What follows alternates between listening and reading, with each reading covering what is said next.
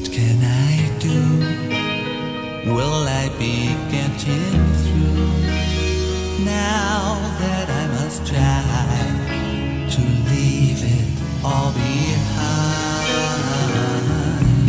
Did you see what you have done to me? So hard to justify. Slowly it's passing by.